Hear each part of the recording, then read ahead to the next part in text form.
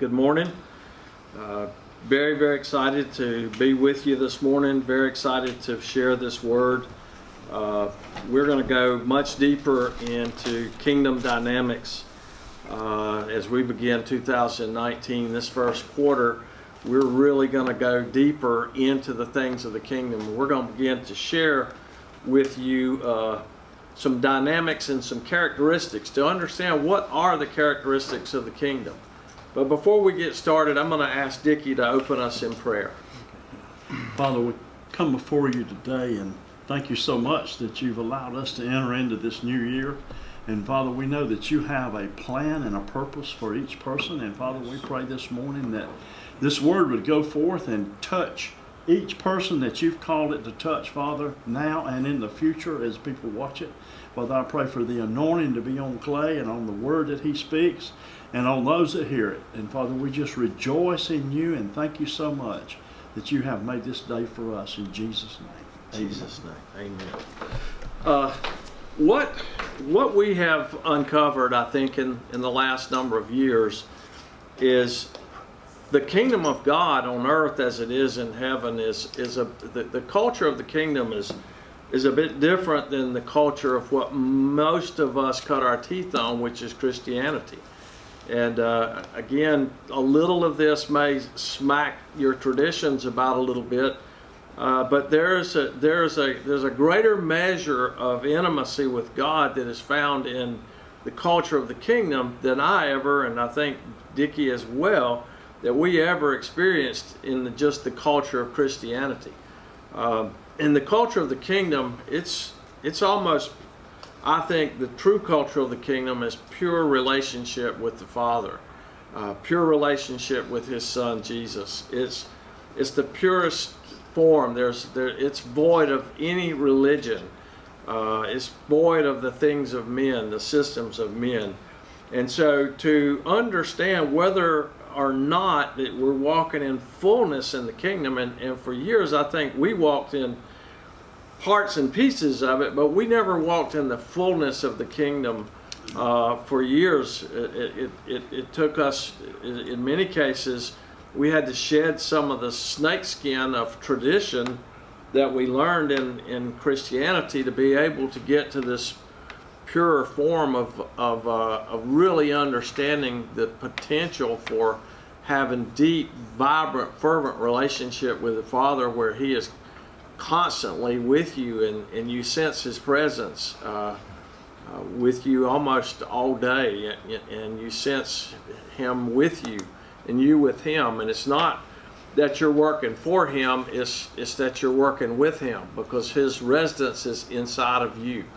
He lives within you and he desires to express himself through you and to utilize what he made and crafted you to do. Why did he put you in the earth uh, to do what he assigns you to do. And for years, I didn't even know that. I, I, had no clue. I heard the scripture, greater is he who is in you than he who is in the world.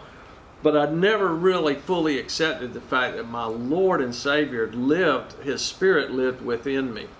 His spirit was in me. But he wasn't just in me to comfort me uh, as the Holy Spirit does, but to also, more importantly, enable me to fulfill a very specific plan by which he placed me in the earth. And I think we can open what we're going to talk about today. And what we're going to talk about today is we're going to talk about leading from the future. We're going to talk about seeing into the future, you being able to see into the future, to be able to think from the future, not from the present, which sounds you know, kind of boogaloo, you know, thinking from the future. I mean, that sounds sort of mystic like, but it, there's no mysticism really to it. It is absolutely a truth and it's absolutely an ability that God gives you to begin to see the future and to begin to operate intellectually around what you're seeing.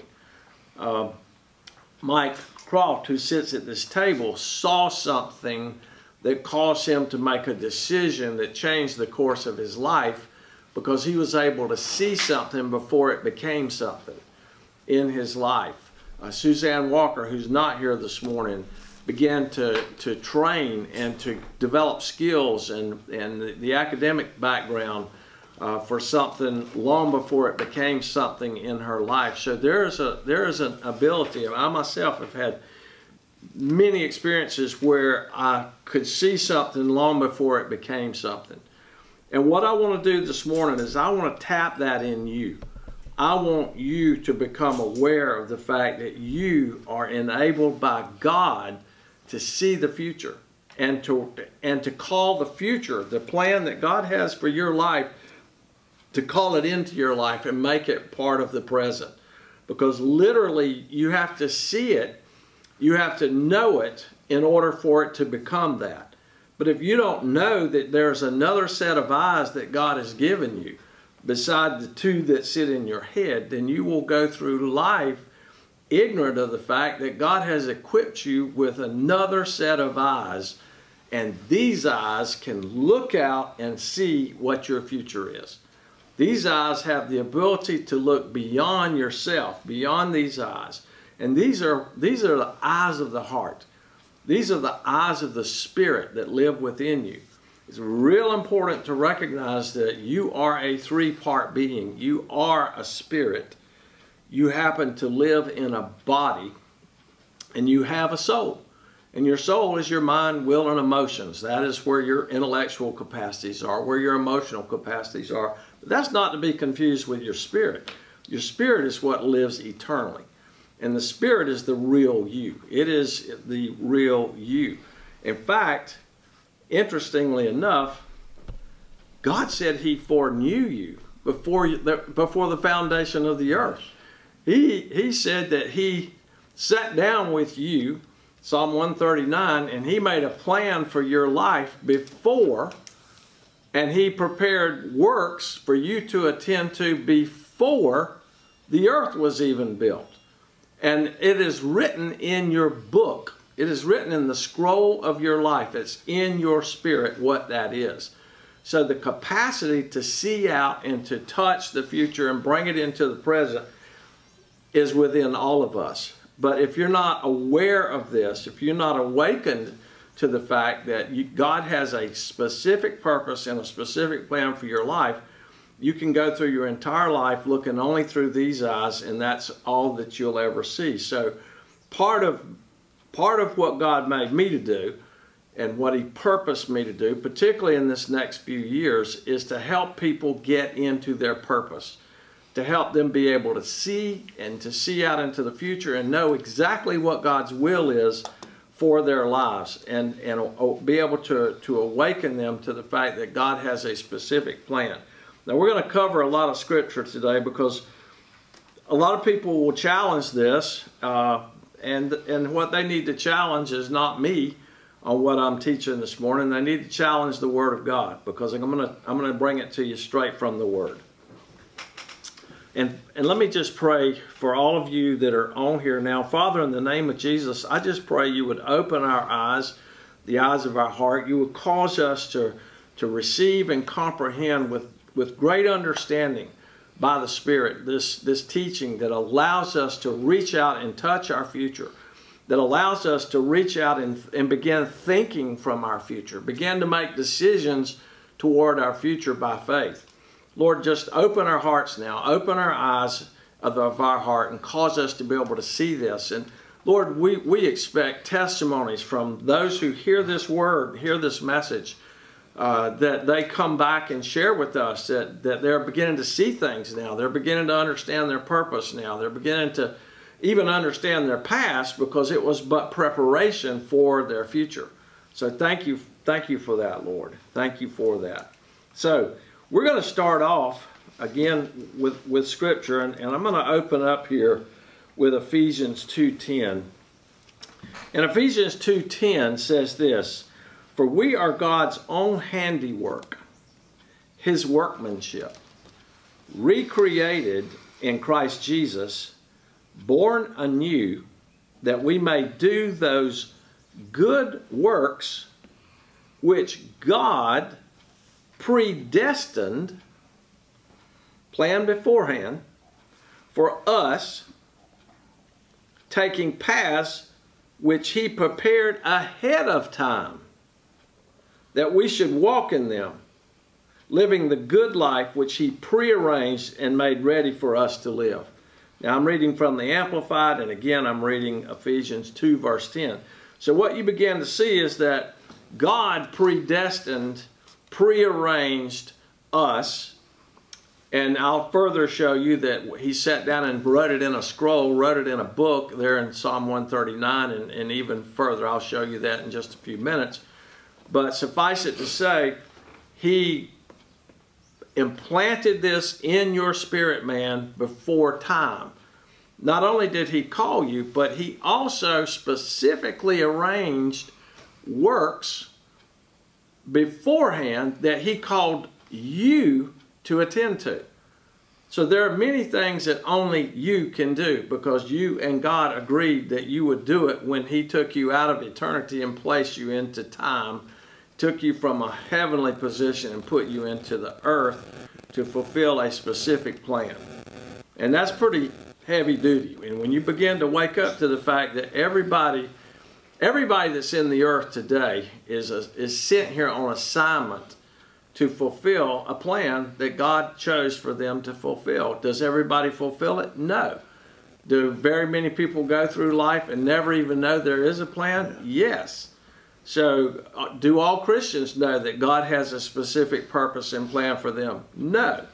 But I will maintain this to you. A man or a woman who is truly walking in the, in the, in the depths of, of a kingdom assignment on earth know with great understanding what I'm sharing with you this morning. So I would say a, a, a, key characteristic of any kingdom man or woman is he can see into the future. He knows his purpose he knows God's plan. And to the extent that you know that, to that extent are you walking in the kingdom. To the extent that you doubt that or don't know that, to that extent you have some room to make up here. You have some place to go. So perhaps this morning is paving that way for you. So if I were to title this, if I were to title what we're talking about today is, is learning to think from the future. Uh, one of the great evidences of a kingdom man or woman said is found in their ability to think from the future. One of the highest, most important levels of intelligence is found in one who can think from the future.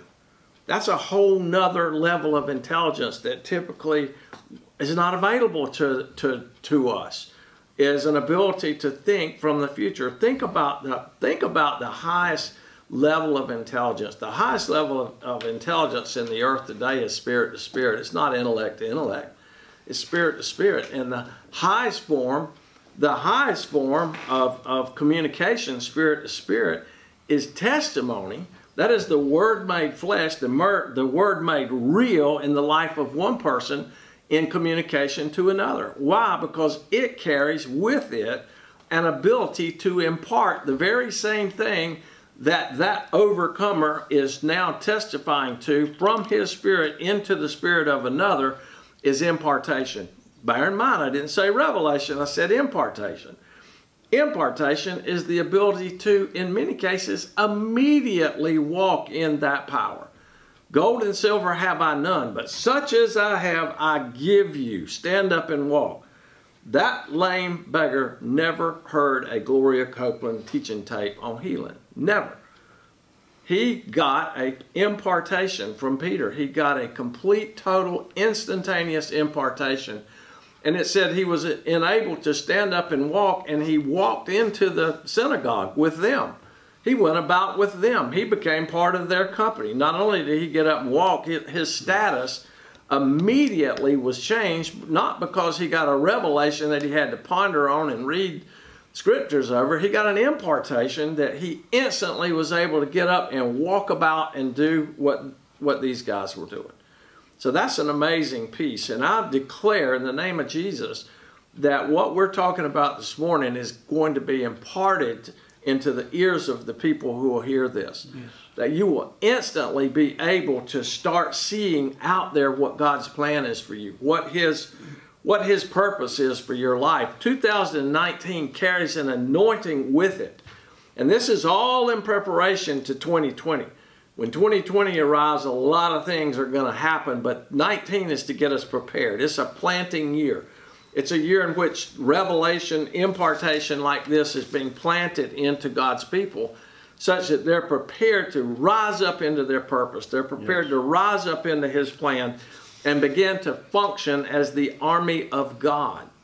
Now, one of your strong keys, and we're going to talk about this more too, one of your very strong keys moving forward with this is people. You have to understand who the people are that you're connected to.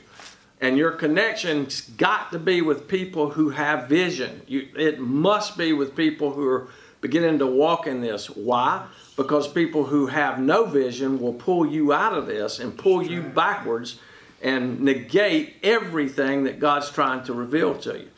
So that's a caution that I'm going to offer you is that when you begin to, to sense this and, and feel this, connect with people who are walking in this. Connect with people who understand where you're coming from. Because if you try to if you try to connect or stay connected with people that don't understand it, even senior people, senior pastors, many leaders in the church don't understand what we're talking about here, and you've got to be very, very careful to, to understand that part of the maturity of walking in this is being willing to go where God tells you to go and do what He tells you to do. So, moving forward, most of us, just by our training, think from the past. We think from what's called reactive thinking, and that's based on history. It's based on our own life experience. Uh, this is being married to past methods and past ways of thinking. Listen, the scriptures say it best. The traditions of men make the word of God to no effect. And that doesn't mean the written word, that means the spoken word. So God could be talking to you, but if you've got a tradition mounted up in your mind that says you can't see the future, you can't hear God, you don't really have a specifically assigned purpose, then you won't receive this message. So understand the traditions of men are what we're coming against. The tradition of religion is what we're coming against here. We're coming against a, we're bringing a fresh bread word that you can eat. You can eat this word. You can eat this word and it will bring nourishment to your spirit. It'll bring supernatural strength into your physical body, into your mind, into your emotional realm and it will absolutely charge your spirit. It charges me just to talk about it. To get to proactive thinking or thinking from the future, we often must get beyond ourselves and see through the eyes of ever widening possibility. This allowed, allows us to do what we've never done. What is it that, that I'm talking about here? To think from the future. This allows us to do what we've never done think from the future. God wants you to understand what His plan is for you. He really, really, really wants you to see your purpose that He has for your life. He really, really, really wants to engage you and, and get you to begin to take steps towards what He has planned, what He has laid out for your life. Because to function in that capacity is to function in power and authority anything outside of the capacity that God's called you to walk in is not with power and authority from heaven. But the instant that you step into what that calling is, what God purposed you to do, you step into a power and you step into an authority to fulfill what God has planned for you. But guess what? You've got to see it first. You've got to see it first. You've got to know it's there. You've got to walk towards it. But if you don't know it's there, then, then you're captured. You're not going anywhere. So again, our prayer this morning is that God take the lid off, that He open our eyes of our heart and cause us to be able to see this future that, that we're talking about. What power from God allows us to see into the future? What power is it that God gives us to see into the future? Can you spell V I S I O N? Vision. He gives us vision. He gives us vision, an ability to see with the eyes of the heart. That's vision, to see what these two eyes cannot see. Vision, that's a gift from God, to be able to look out and see what you can't see with your two eyes. Vision's not sight, but seeing what could be to actually see your purpose. Look at the word purpose here for a minute. Purpose means original intent. purpose means original intent. So, no better word to describe what purpose is as it relates to what we're talking about here because purpose in this context is the original intent that God made you and placed you yes. into the earth. He created you. He, he prepared works for you. We just read it in Ephesians 2.10. So his purpose is his original intent. And what he wants us to do is to find his original intent for us in placing us in the earth. Excuse me. To see God's original intent in putting you in the earth, you have to understand you're not an accident. You're not aimlessly designed to roam through life unattended, unknown, and, and, and, completely, totally inconsequential. You're designed to make a difference. You're designed to be a, a force of nature in this earth. You're designed to do great things in this earth. God wants to be glorified through your life, and in order for, you, for Him to be glorified through your life, you've got to give Him permission to do that. And in order to give him permission, you have to know that you're designated to do that. Listen to this. Vision finds its source in purpose. Vision finds its source in purpose. In other words, when you know the original intent that God has for you, then vision connects and there's an empowerment that comes upon you to understand God's plan for your life.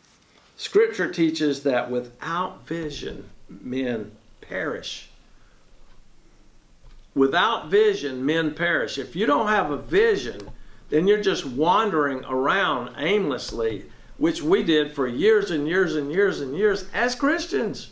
We wandered around because we had no vision. We, we were trying to do right. We were trying to do good things and, and, and be good boys and don't smoke, don't chew, don't go with the girls that do. We were trying to we were trying to be religious with our newfound spiritual awakening. We had no clue that there was much more to it than what we what we could gather through through our, our Christian circles. Without vision, men perish. Vision is seeing the future from the present. God didn't give us birth to primarily see with eyes. He gave us vision to see with our heart. What's the what's what are the evidences for this? Um, what what what are the evidences that this is this is what God's will is?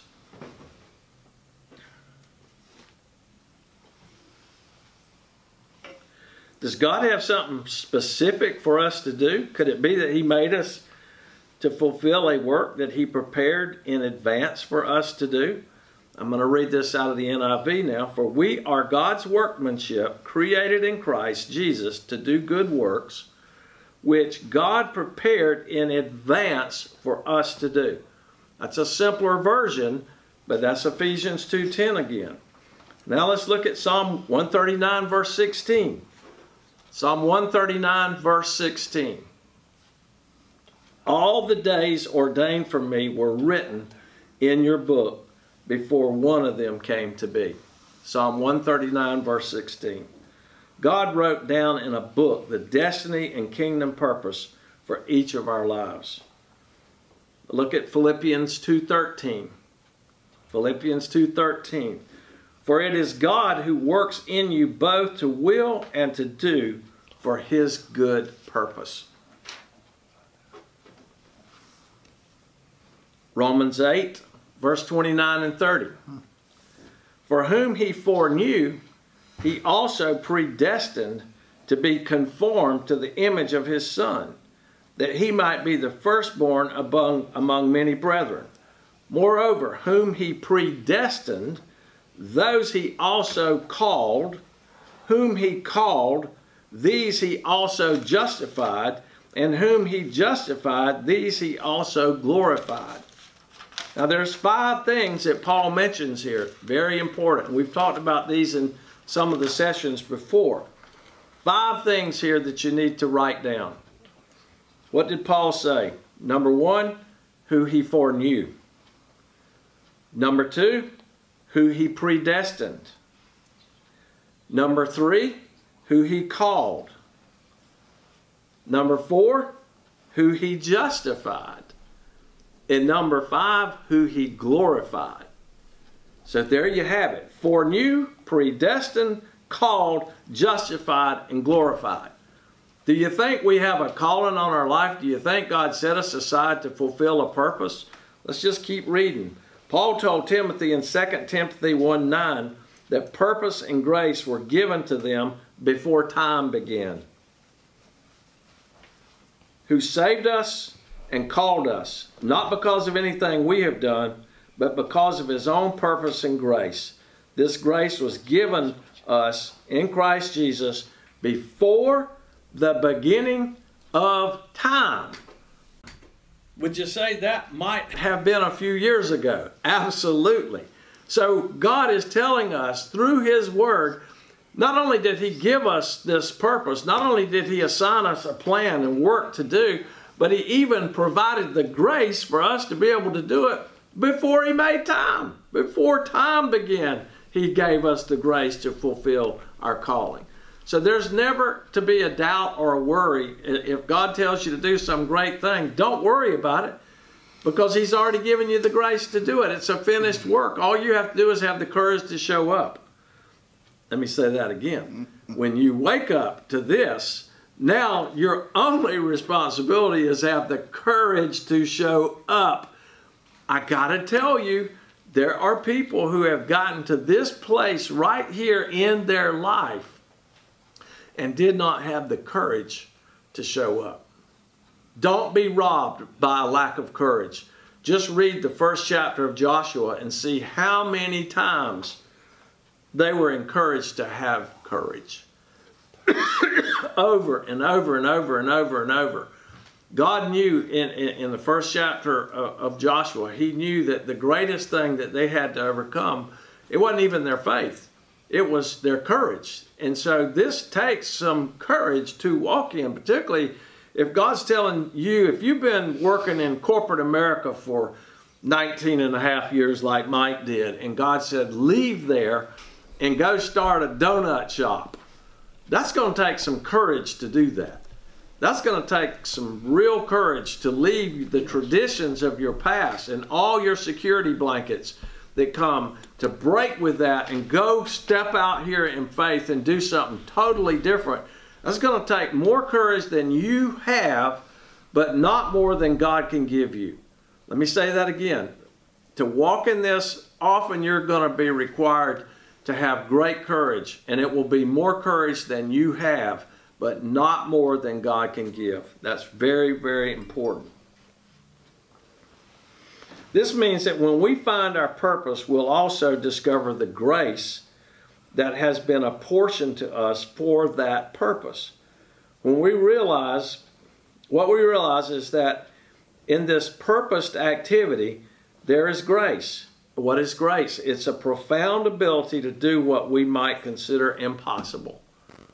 I can tell you right now, what I feel God's told me to do is impossible. I told Dickie earlier today, I've run out of my capabilities. Where I'm, what I'm doing right now, where I'm going right now, is way above my pay grade. Um, I, I, have, I have no way to achieve what, what I feel God's called me to do. So if you understand, the grace is already there for you to, to fulfill this. That's a very encouraging word from the Word of God. That when He speaks these things to you to do, that you have that he prepared the grace for you to do it before he even put you in the earth and before the earth was even made. The, the two stages of foreknowledge and predestination all occurred before time began. They happen in the eternal realm of god outside of the time realm. So god prepared the earth before he put adam in it. You do you realize that? He he prepared it. He got it all he got it all fixed up. Then he then he got Adam and snatched him out of eternity and put him in there. He had prepared it before Adam actually got there. And that's a great model that everything that he's calling us to do has already been prepared. All he wants us to do is have the courage to show up to fulfill it. That's, that's really good news, by the way. The next stage is, the, the next stage is called stage where we begin to get glimpses of what we were made to do. And that's what we're talking about this morning. We begin discovering what is written in the books of heaven about us. That's what we're waking up here. That's what we're talking about. We're stimulating in the spirit realm, we're stimulating that in you to awaken to the fact that God has a great plan for your life, a tremendous plan. He's got a great purpose for your life, but you must wake up to and snatch yourself out of this natural realm that we've been living in and begin to see by the eyes of the Spirit, by the eyes of your heart into the spirit realm to understand exactly what it is God has planned for you. Now, I know some of you probably saying that man has lost his ever loving mind because he's talking about all kind of crazy things that are hard to understand. And I understand that. I really do understand that it doesn't sound natural because the fact is it ain't natural. It's supernatural. And to get into this realm, you have to be willing, give God permission to take you into that realm. Well, a lot of people are not going to go where they're not comfortable. And if that's if you're that person, the Bible says that the, this path is narrow and only a few will walk this path. That means that you've said, okay, I'll go so far, but if it requires more courage than I have, I'm not going to do it. If it breaks with the traditions of my understanding, I ain't going there. Uh, I mean, you're putting all kind of limitations on it. That's a narrow path that, that many are called, few are chosen not everybody is going to walk this path. And I totally understand that because there's going to be a lot of challenges along the way that are going to challenge your traditions, are going to challenge everything about you. Now listen, listen how normal this is. How will a man or woman receive the kingdom of God? Through much tribulation. Where I maintain the tribulation's greatest is in our mind. It's not actually tribulation of of anything else. Where the where the fire rages is to enter truly, honestly, get into the into the meat of the kingdom of God. You got to go through some really a lot of things that have got to burn up in your mind. Bones, uh, bones have to break. You you absolutely have to be willing to to allow God to go in and rip out a lot of things that, that have been ingrained in you. And as you get older, as Dickie and I can tell you, it's harder. You resist those things even more when you're older uh, to, to, to allow God to rip your own traditions out. And that's and it's difficult. That's why the word says, How will a man receive the kingdom of God? Through much tribulation.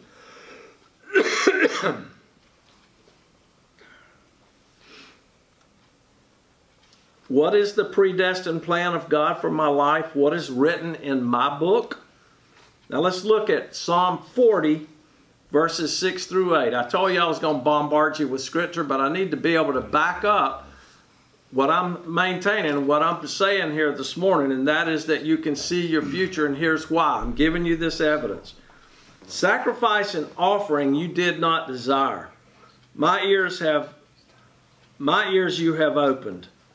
Burnt offerings and scent offering you did not require. Then I said, Behold, I come. In the scroll of the book, it is written of me. I delight to do your will, O God, and in your law, and your law is in my heart. Psalm 40, verse 6 through 8 and your law is in my heart, and your law is in my heart, and your law is in my heart. What is that? That's saying you have the capacity to see exactly what God has laid out for you in your heart. How? By the eyes of your heart.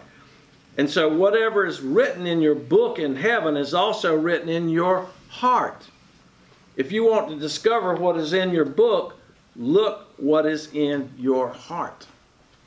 What's in your heart? Jeremiah 1, verse 5. Really, really, really important scripture. Before I formed you in the womb, I knew you. Can you can you grasp that? Before I formed you in the womb, I knew you. This is God talking. Before you were born, I sanctified you. I ordained you a prophet to the nations. Now I'm stacking scripture upon scripture upon scripture upon scripture about God foreknowing you, predestining you, uh, creating you to fulfill a specific plan, a specific purpose, a specific work that He even prepared beforehand for you to do. And then He gave you the grace to be able to perform what He called you to do. Are you beginning to get that? Is that opening up in your heart? Are you beginning to see there's an, an incredibly awesome plan that God is beginning to unveil to his people to know and understand, oh, there is a purpose for my life. Yes. Most people wander aimlessly and hopelessly because they don't know what they were made for. And, and, and so I'm going to say this vision is the ultimate motivator. Vision is the ultimate giver of energy. Inner, a vision is the ultimate life giver. Because when you touch this and you awaken to the fact that this is what God made me to do, you're going to have an excitement in your spirit that's going to give your physical body energy. If you're sick, you're going to get healed. If you can't see, you're going to see. If you can't hear, you're going to hear. You're going to find the people that you're called to fulfill this with. They're going to come alongside you, and all of a sudden, what was it becomes. What, what was is no more because vision brings the ultimate is the ultimate life-giving substance. A lot of my friends have a drug background. Uh, i'm not proud to say i got a little bit of one myself. And part of the journey in the 60s and the 70s was all the different stuff that was coming out the different drugs that were coming out. And people oh this was better than that one. And so there was this search for that. And what i'm telling you right now is this part of, of, of escaping sort of the Christian culture and getting into the kingdom culture and finding my purpose and finding God's. This is the ultimate drug. This is the ultimate high because it's with you 24 hours a day, seven days a week when you awaken to what God put you in the earth to do. And I'm stacking these scriptures up so you can understand how real God's plan is and opening up the true kingdom culture. And the true kingdom culture is purpose, function, utility, grasping the fullness of heaven so that it can be brought to earth and portrayed to earth, revealed to earth. Why? So God can be glorified through your life. Before I was formed, I knew you. That means in eternity past, you had a meeting with God. One of the reasons he sent you down to creation through a birthday, through a place in time, is to fulfill a specific assignment. Can I say that again? Before I formed you, I knew you, God said. That means that in eternity past, you had a meeting with God. One of the reasons he sent you to creation through a birthday, through a place in time, is to fulfill an assignment. He made you specifically to do specifically a work. What prevents us from fulfilling His fullness in our lives? Listen to this. Because here's where many people are getting robbed. This is why many people will never fulfill this. Scripture tells us many are called, yet few are chosen. The answer to that question the answer to the question of why many are called and few are chosen. There's, there's a reason why people don't fulfill their calling and never touch their destiny, never touch their purpose, never really get into the vision of God. Here's the answer an unbelieving heart caused by the God of this world, the one we are living in now. Who's called the God of this world? Satan is called the God of this world. Important. This is very important. Not saying an unbeliever here, make the clear distinction, but an unbelieving heart that can snuff out a great plan by simply accepting a good plan. There's the great plan, which is God's, and there's the good plan, which is man. We're Christians, we want to do something good, and so we eat from the tree of the knowledge of good and evil, not realizing that the good fruit on that tree is just as deadly as that evil fruit. And so we accept something good and snuff out the great plan that God had for our lives. The greatest slaves are those who don't know they are. The strength of the oppressor lies in the ignorance of the oppressed. The God of this world has blinded the minds of, uh, of the unbelieving so that they might not see the light of the gospel of the glory of Christ, who is the image of God. 2 Corinthians 4, verse 4.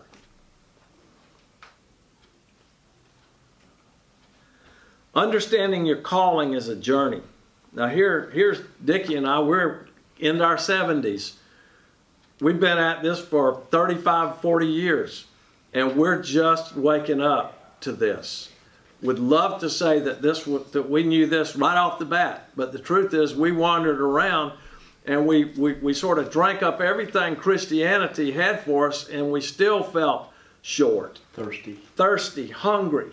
And so we began to call out to God, and when we began to call out to God, He began to reveal the kingdom to us. And He began to point us in the way of the kingdom. Yet, if you go to so many places in Christianity, you don't hear the kingdom preached. I mean, only now is it beginning to, do you, are you beginning to hear people talk about the kingdom more and more and more and more ministries. Uh, some have been talking about it for years, but not necessarily heard. Uh, now they're being heard. More and more people are beginning to understand the answer is not in Christianity.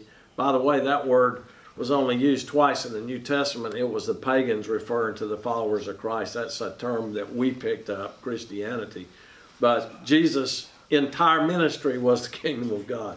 And somehow we, we've, uh, we've not taught that. We, we hadn't taught the kingdom as, as Jesus taught it. But it, it, after this, as you begin to read New Testament, and particularly the teachings of Jesus, you're going to see how often he referred to the kingdom of God. And you're going to see what a major impact he made with what he taught about the kingdom. And then you're going to see the mystery of how the enemy has so subtly blinded us by giving us a Christian message that scant ever talked about the kingdom of God.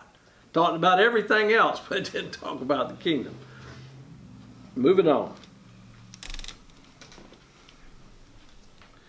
Understand your calling is a journey. Part of that journey is separating us from the ways of the world, pointing us to the ways of God, which is the kingdom. My calling is His business. My calling is God's business. It ain't my worry. It ain't my stress. it's not my freak out. It's not. It's His.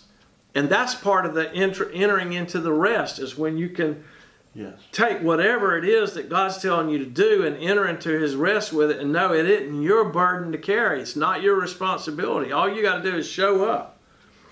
Don't let his business become your business. This is a real, real key here. You can't let his ministry, the thing he's given you, become your ministry. So many times you see people on TV pleading for money, and if you don't give this ministry money, then the gospel is not going to go out. It's not going to be preached. Well, that's a man who's taken possession of his ministry. Uh, God has told me to build this giant gazillion dollar church, and if we don't do it, then souls are going to be lost.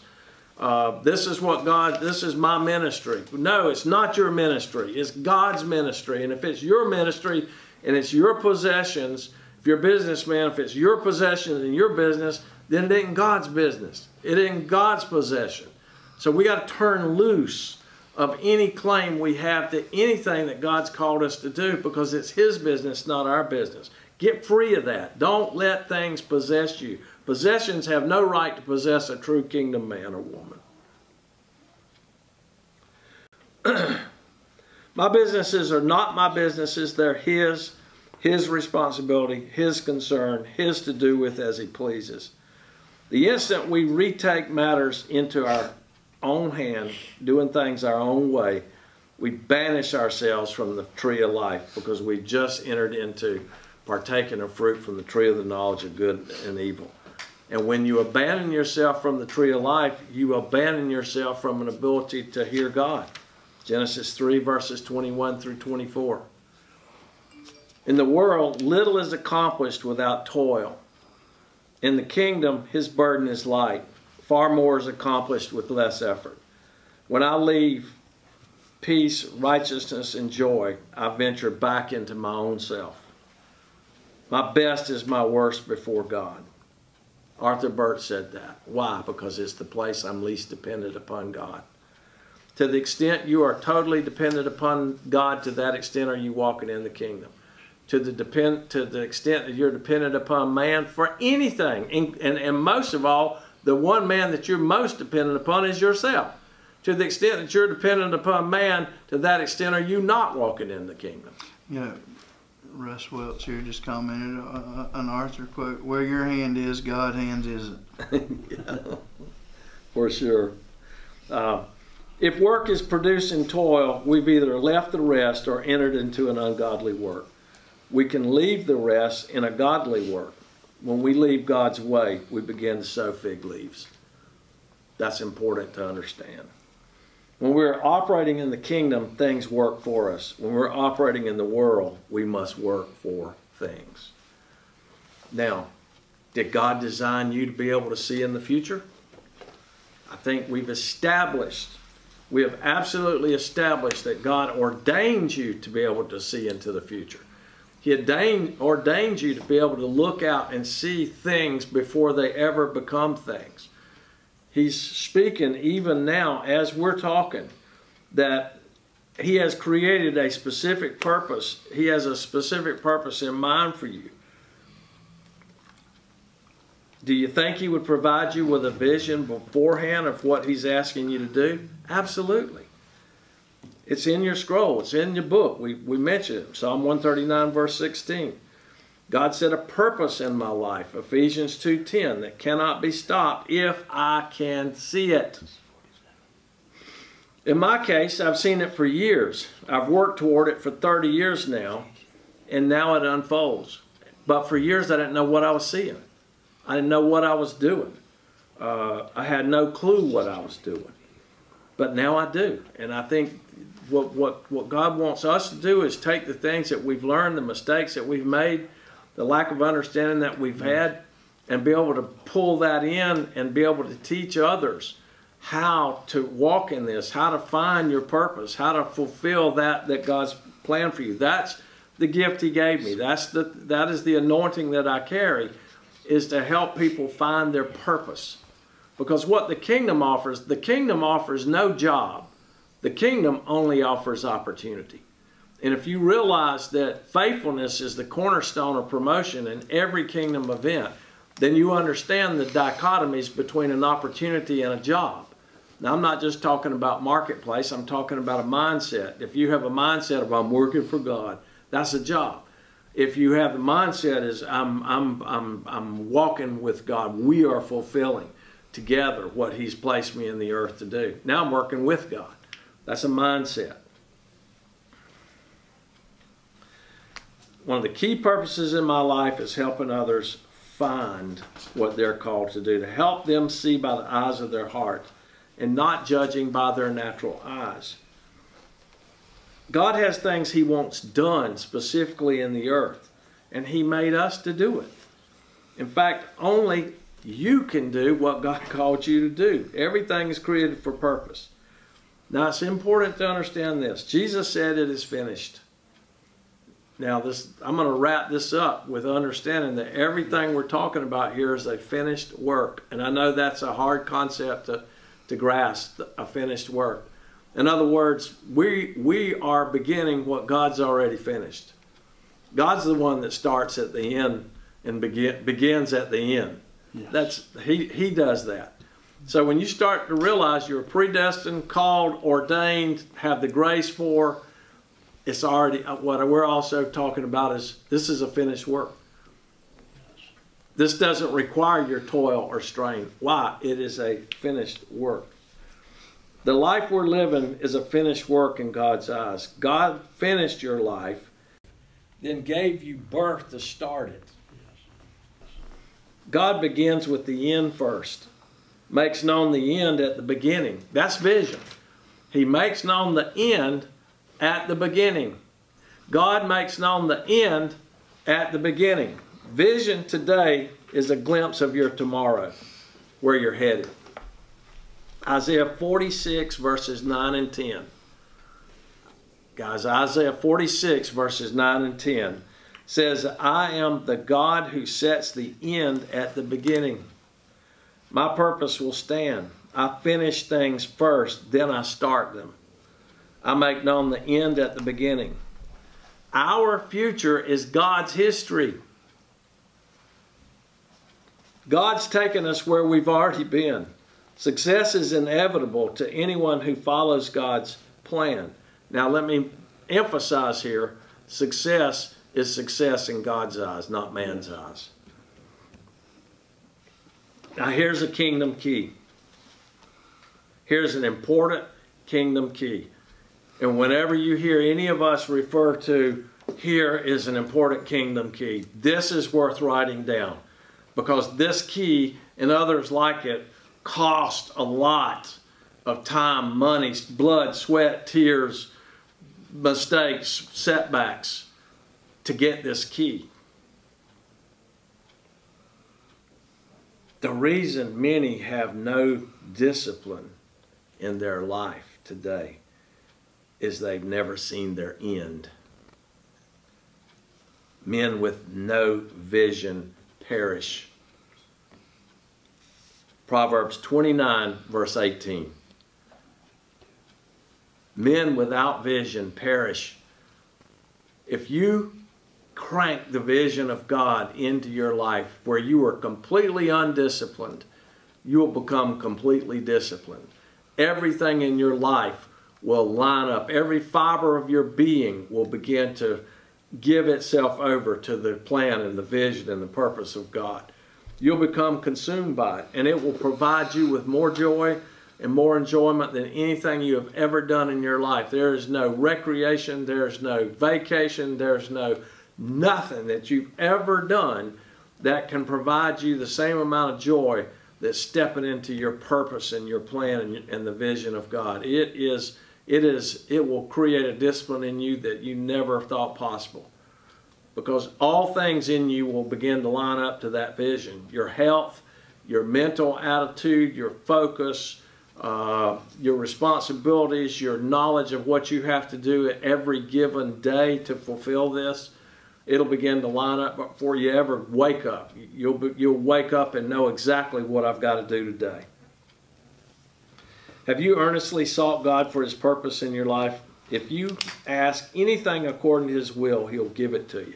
Now, we're, we're coming to a closing, and we're coming to the part where, where we're going to give you the invitation to ask God. It's, the Word says in 1 John 5 14, if you ask Him anything according to His will, He'll do it for you. And so we're down to the part right now where some of you want to ask God for something. You want to ask God, I want to be able to see my future. I want to be able to understand that God has a great plan for my life. I don't have a clue. Well, if you ask anything according to his will, this is what it says, 1 John 5 14, he'll do it for you. So we're going to agree with you that we're going to ask God for you. Every person that's listening to this, we're going to ask God, Lord, help us to, to know, to see, to understand what your will is in our lives. We're asking according to your will. You said if we ask you anything according to your will, that you would reveal it to us. So everybody who will ever hear this now, ever hear this on YouTube, ever hear this on Vimeo now, or 50 years from now, Lord, that they will be able to take 1 John 5 14 and ask according to your will and just uh, have heaven open up and reveal to them exactly what they were placed in this earth to do.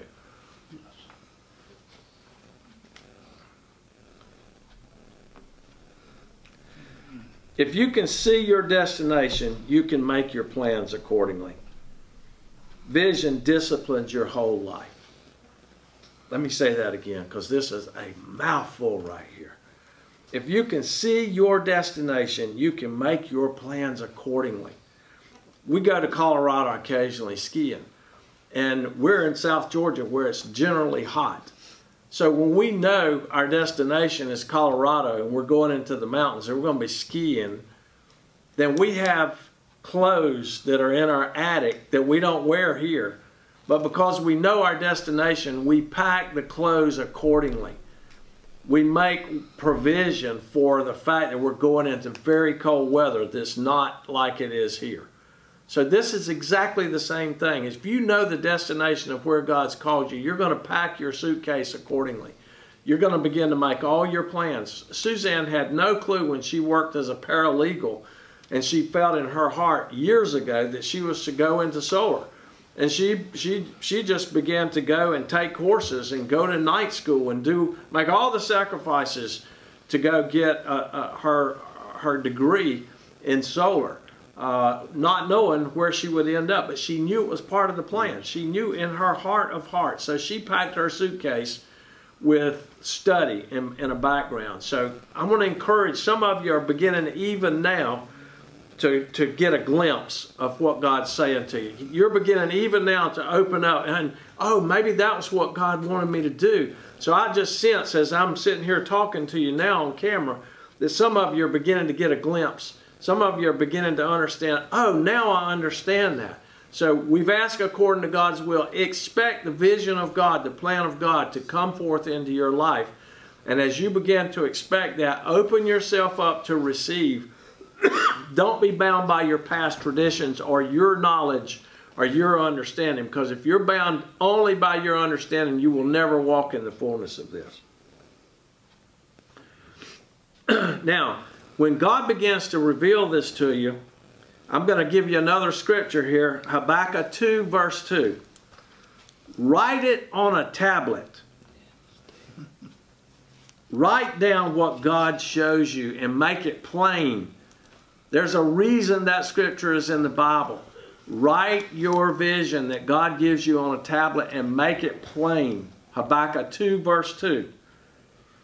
Why?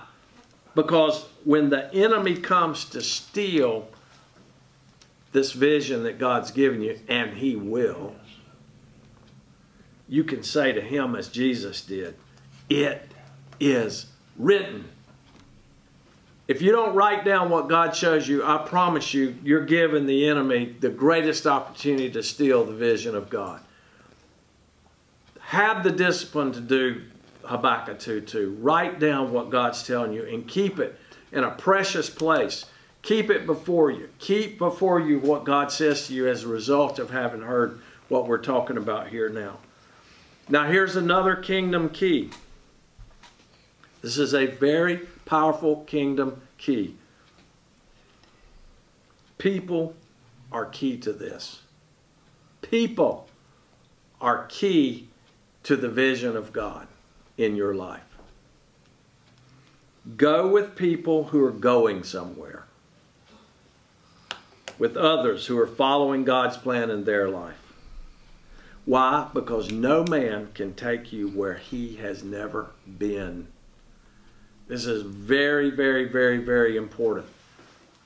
If God gives you great vision, you're saddled up with people all around you that have no vision it won't be long before they will snatch that right out of your heart. So you get with people who understand vision. You get let get those people around you and get people who understand that God predestined and purposed them to go somewhere, to do something with their life. And, and, and get away from people who have no vision because they will steal what God's put in your heart. Now understand this and I'm getting ready to close. Vision is not ambition.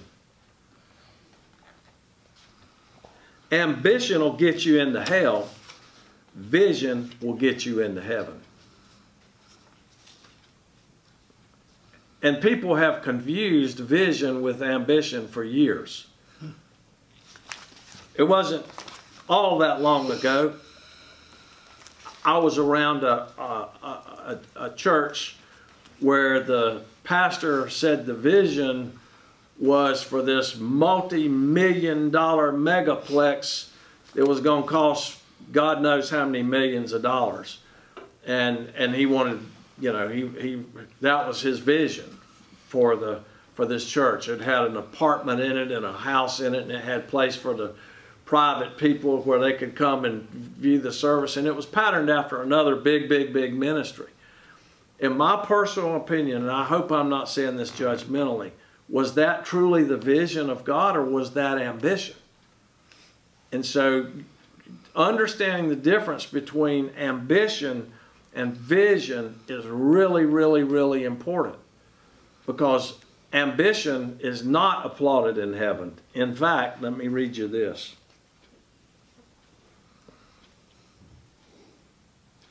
Galatians 5 20 and 21. Galatians 5 20 and 21. Selfish ambition is ranked right there with murder, sexual perversion, drunkenness, fornication, and many other things. And it says, one who engages this will not see the kingdom of God. And I'm not saying that your vision might not have some great plan to it. Some, some of it may have a really great plan to it, but you cannot confuse vision with ambition and call it vision. And we've been guilty of doing that. I've been guilty of doing that. Many, many, many, many times I've been guilty of doing that. So I'm not pointing my finger at anybody. I'm pointing my finger at me. And sometimes it takes one to know one. Uh, and in, in this particular case that I'm referring to, I'm referring to myself first because I've built my own kingdoms. I've built my own empires only to have them collapse because human hands can't touch what God's doing here. Seek first the kingdom of God and his righteousness. What does his righteousness mean? I went years not understanding that. His righteousness means his way, his way of doing things, it, your, his right standing way, his right way of doing things. And it means his right way, not our right way. His way is right, our way is wrong. And listen to this don't do good, do right. What is right? Right is his way. Don't do good, do right. Right is the way of God. Right for you is determined by destination. You must often pass a lot of good things to get to the right thing. This is the narrow path that few walk. And for scriptural reference, that's Matthew 7, verses 13 and 14. Good is the enemy of best, and it's much more subtle than outright evil because evil is acknowledged disobedience. Good, not so much. Jesus had a family.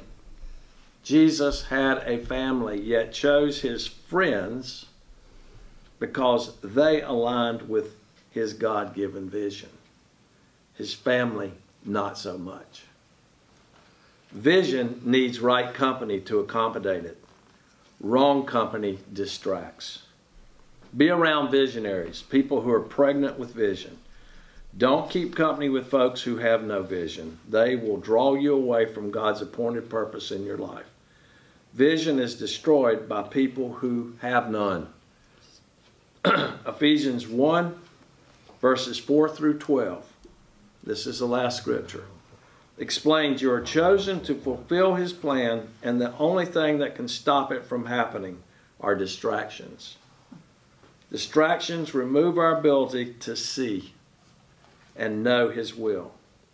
Satan has a plan too, a plan to keep you from destiny, and it's called distractions.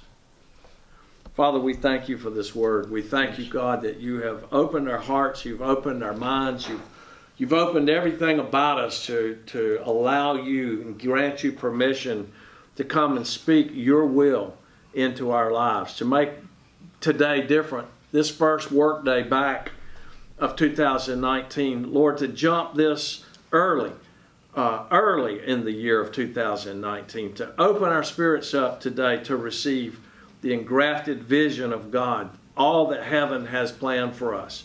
Lord, let it be according to your will. Lord, just smoke us with your presence in 2019. Lord, let us recognize that your presence is as, is as easy as us just accepting that you're here. You're right here. Your presence, Lord. Let us, let us fight our battles in 2019 with presence, with the presence of God in our lives. Let us stay in your presence Lord, to fulfill this plan of this vision. Let us not be discouraged by the enemy's plan of distractions. and, and false traditions and things that would pull us away from all that you have for us. Lord, bless us with internal understanding of this. Bless us with external confirmation of this message, Lord. And I pray, Father, that confirmation come flowing into each and every person uh, from what has been taught and revealed here and shared this morning. Let confirmation roll. Let confirmation come. Let it empower. Lord, let confirmation, let, let people just run into one confirmation after another of the things that they've heard this morning. And Lord, I just pray your blessing upon each person, uh, each person that is that has been with us. Uh, Lord, I see there's tremendous uh, comments and sharing of this message. I see that it's going out all over, and we just pray, Lord, that you would distribute this word, that you would take it into the far corners of the world, Lord, that you would reach out and touch many, many people with this word and awaken them to their purpose and to God's plan in their life. Lord, use this word in a mighty, mighty way. We thank you for the humble setting that we're in. We thank you for, uh, Lord, having this wonderful opportunity to use this technology to take what you've imparted into us over many, many years and be able to share not just a doctrine, but a true testimony of what we're walking in, Lord. And we thank you that you're giving us the, the, the, the, the known understanding that a man's mouth, his, his talk, and his walk, his feet have to be one and the same in order for true impartation to take place. Let us be unwilling to listen to doctrine, but Father, open hearted to receive testimony. In Jesus' name, amen.